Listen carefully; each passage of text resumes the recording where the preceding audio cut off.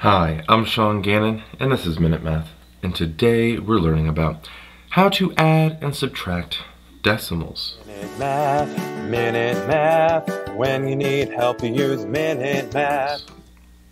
We're given this problem right here. Subtract 2.51 minus a 7.4. Well, what's different, different about this number here, problem, is 2.51 minus a 7.4. What, what do we notice about these two numbers?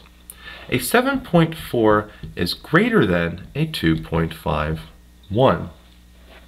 And what that tells us here is, well, when we subtract these two numbers, 2.51 minus 7.4, we're actually going to have a negative number, right? Because 7.4 is more than 2.51.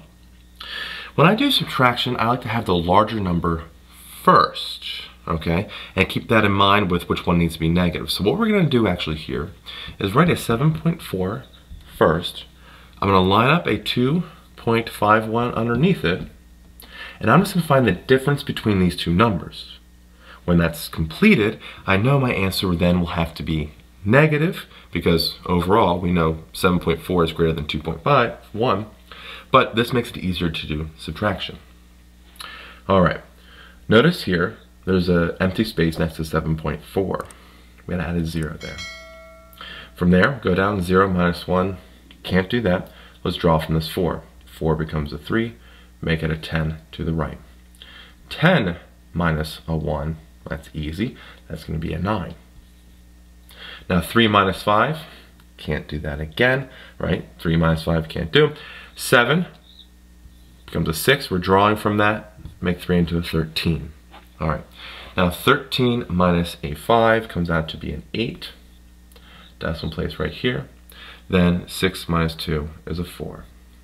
So 4.89 isn't our result yet. Remember, had to be negative. Put a negative on it, and there we have it. 7.51 minus a 7.4 is a negative 4.89. Hope you learned something here on how to add and subtract decimals. If you did, make sure you like this video and subscribe to our YouTube channel. This helps us make more of these free math lessons for you and for everyone else. So as always, thanks for watching.